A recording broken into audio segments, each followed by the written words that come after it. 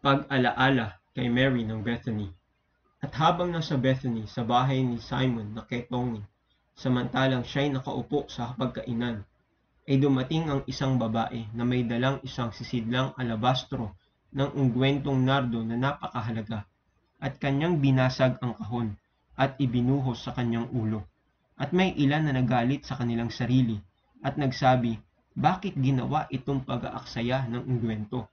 Sapagkat maipagbili sana ito ng higit sa tatlong daang denaryo at maibigay sa mga dukha. At nagbulong-bulungan sila laban sa kanya. At sinabi ni Jesus, Pabayaan niyo siya. Bakit niyo siya pinoproblema? Siya ay gumawa ng isang mabuting gawa sa akin, sapagkat lagi ninyong kasama ang mga dukha, at kailanman ibig ninyo ay maaari ninyong gawin sa kanila ang mabuti. Datapwat ako ay hindi ninyo laging kasama Ginawa niya ang kanyang makakaya. Siya ay nauna upang pahira ng aking katawan sa paglilibing. Katotohanan sinasabi ko sa inyo, saan man ipangaral ang ebanghelyo sa buong sanglibutan, ito rin ang ginawa ng babae ay sasaysayin sa pag-alaala sa kanya. Mark chapter 14 verses 3 to 9. Tanging si Jesus Christ ang tagapagligtas. At siya'y manganganak ng isang lalaki at tatawagin mo ang kanyang pangalang Jesus sapagkat ililigtas niya ang kanyang bayan sa kanilang mga kasalanan. Matthew chapter 1 verse 21 Sapagkat gayon na lamang ang pag-ibig ng Diyos sa sanlibutan na ibinigay niya ang kanyang bugtong na anak upang ang sino mang sumampalataya sa kanya ay hindi mapahamak kundi magkaroon ng buhay na walang hanggan. John chapter 3 verse 16 Sinabi sa kanya ni Jesus, Ako ang daan, ang katotohanan at ang buhay. Sino man ay hindi makaparoroon sa Ama, kundi sa pamamagitan ko. John chapter 14 verse 6. At walang kaligtasan sa kanino man, sapagkat walang ibang pangalan sa silong ng langit na ibinigay sa mga tao na ating ikaliligtas. Acts chapter 4 verse 12. Namatay si Kristo para sa ating mga kasalanan ayon sa mga banal na kasulatan, at na siya ay inilibing, at na siya ay muling nabuhay sa ikatlong araw ayon sa mga kasulatan. 1 Corinthians chapter 15 verses 3 to 4. Na sa kanya ay mayroon tayong katubusan sa pamamagitan ng kanyang dugo, ang kapatawaran ng mga kasalanan ayon sa mga kayamanan ng kanyang biyaya. Ephesians chapter 1 verse 7. Mayroong apat na katotohanan na dapat nating lubos na maintindihan. Number 1. Mahal na mahal ka ng Diyos. Nais ka niyang magkaroon ng buhay na walang hanggan sa langit kapiling niya. Sapagkat gayon na lamang ang pag-ibig ng Diyos sa sanglibutan na ibinigay niya ang kanyang bugtong na anak upang ang sino mang sumampalataya sa kanya ay hindi mapahamak kundi magkaroon ng buhay na walang hanggan. John chapter 3 verse 16 nais kanyang magkaroon ng masagana at makabuluhang buhay kasama siya. Ang magnanakaw ay hindi dumarating, kundi upang magnakaw at pumatay at manira. Ako ay naparito upang sila'y magkaroon ng buhay at upang magkaroon sila nito ng higit na sagana. John chapter 10 verse 10.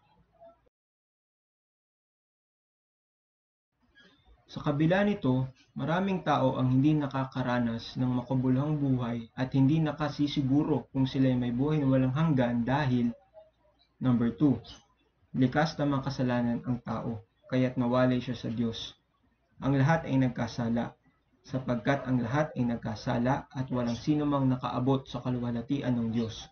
Romans chapter 3 verse 23 sapagkat ang pag-ibig sa salapi ang ugat ng lahat ng kasamaan.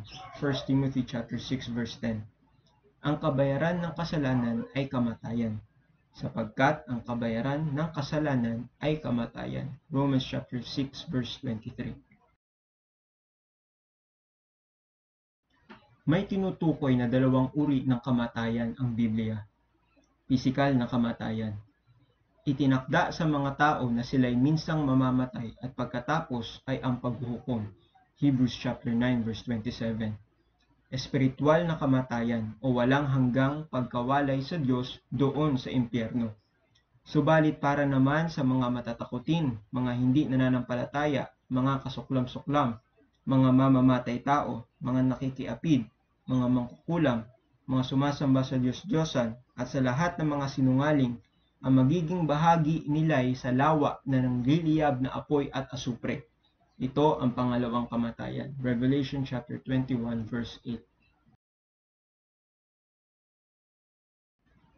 Kung ang tao ay nawalay sa Diyos dahil sa kanyang kasalanan, ano ang solusyon sa problema niyang ito? Madalas nating iniisip na ito ang mga solusyon. Relihiyon, mabuting gawa, kabutihang asal. Ngunit iisa lang ang solusyon na galing sa Diyos. Number 3. Si Jesus Christ lamang ang tanging daan patungong langit. Ito ang pahayag ng Diyos. Sinabi sa kanya ni Jesus, Ako ang daan, ang katotohanan at ang buhay. Sino man ay hindi makaparoroon sa Ama, kundi sa pamamagitan ko. John chapter 14 verse 6. Ganap niyang binayaran ang kaparusahan ng iyong mga kasalanan. Sapagkat si Kristo ay minsan nang nagdusa para sa mga kasalanan, ang matuwid para sa mga hindi matuwid, upang tayo'y madala niya sa Diyos, na pinatay sa laman, ngunit binuhay ng Espiritu 1 Peter chapter 3 verse 18 na sa kanya'y mayroon tayong katubusan sa pamamagitan ng kanyang dugo ang kapatawaran ng mga kasalanan ayon sa mga kayamanan ng kanyang biyaya. Ephesians chapter 1 verse 7. May pangako siyang buhay na walang hanggan. Ang sumasampalataya sa anak ay may buhay na walang hanggan at ang hindi sumasampalataya sa anak ay hindi makakakita ng buhay, ngunit ang galit ng Diyos ay nananatili sa kanya. John chapter 3 verse 36. Number 4. Kailangan nating manampalataya kay Jesus Christ para tayo'y maligtas. Ang kaligtasan natin ay dahil sa biyaya ng Diyos sa pamamagitan ng pananampalataya kay Jesus Christ. Sapagkat sa biyaya kayo ay naligtas sa pamamagitan ng pananampalataya at iyan ay hindi sa inyong sarili. Ito ay kaloob ng Diyos hindi sa mga gawa, upang ang sino man ay huwag magmapuri. Ephesians chapter 2 verses 8 to 9. Sapagkat ang sino mang tumawag sa pangalan ng Panginoon ay maliligtas. Romans chapter 10 verse 13. Sinner's Prayer Ipanalangin mo ito ng may pananampalataya. Panginoong Hesus, maraming salamat sa labis mong pagmamahal sa akin.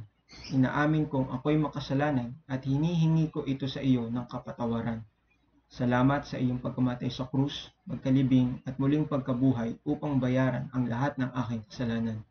Magmula ngayon, ako'y nagtitiwala sa iyo bilang aking Panginoon at tagapagligtas. Tinatanggap ko ang iyong kaloob na buhay na walang hanggan at isinusuko ko ang buhay ko sa iyo Tulungan mo akong sumunod sa lahat ng iyong utos at maging kalugod-lugod sa iyo. Amen.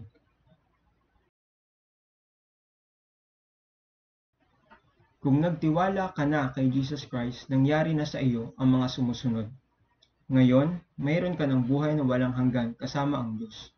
At ito ang kalooban ng nagsugo sa akin na ang bawat nakakakita sa anak sumasampalataya sa Kanya ay magkaroon ng buhay na walang hanggan at siya'y aking ibabangon sa huling araw. John chapter 6 verse 40. Ang lahat ng kasalanan mo ay bayad na at napatawad na noon, ngayon at sa hinaharap. Ngunit ang taong ito, pagkatapos niyang maghandog ng isang hain para sa mga kasalanan, magpakailanman ay umupo sa kanang kamay ng Diyos. Hebrews chapter 10 verse 12. Ikaw ay bago nang nilalang sa paningin ng Diyos. Simula na ng iyong bagong buhay. Kaya't kung ang sino man ay na kay Kristo, siya'y bagong nilalang. Ang mga lumang bagay ay lumipas na.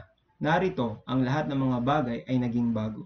2 Corinthians chapter 5 verse 17. Ikaw ay naging anak ng Diyos.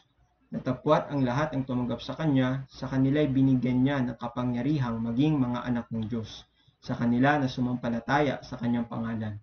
John chapter 1 verse 12. Ang mga mabuting gawa ay hindi paraan upang tayo maligtas, kundi isang katibayan o bunga ng ating kaligtasan. Sapagkat tayo'y kanyang gawa na nilalang kay Kristo Jesus para sa mabubuting gawa na itinalaga ng una ng Diyos upang ating lakaran. Ephesians chapter 2 verse 10. God bless you.